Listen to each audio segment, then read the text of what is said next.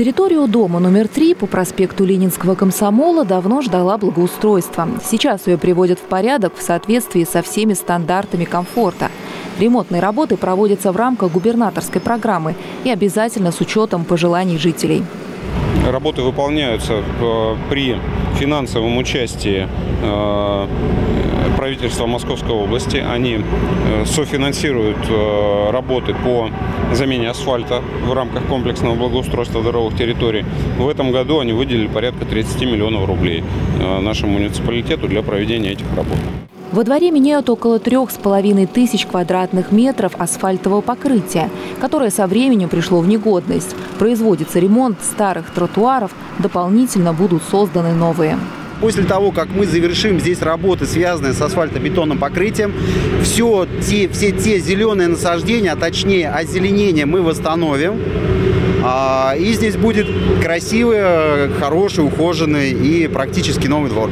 Оборудуют удобные подходы к детским и спортивным площадкам. Появятся новые парковочные места. Очень-очень все красиво. Очень-очень. Мы даже все были удивлены домом, э, из дома. Вот, там все дорожки все шире стали, вот они.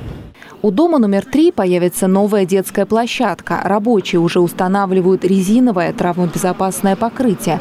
Скоро здесь будет целый игровой комплекс с качелями, каруселями и песочным двориком, предназначенные для детей младшего и среднего возраста.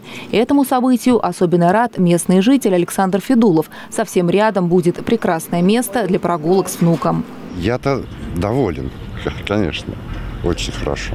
Потому что старая площадка, ну, она была тоже вроде ничего. Вот, а сейчас еще будет лучше. Также здесь оборудуют спортивный блок с уличными тренажерами. Информационные стенды установят контейнерную площадку для сбора мусора. Работы планируют завершить через две недели. Хочется огромное сказать спасибо жителям, потому что они э, проголосовали на портале «Добродел» за то, чтобы эту территорию сделали. И вот не прошло, что называется, и полгода эта территория преображается. И здесь реально будет все абсолютно новое, все абсолютно современное.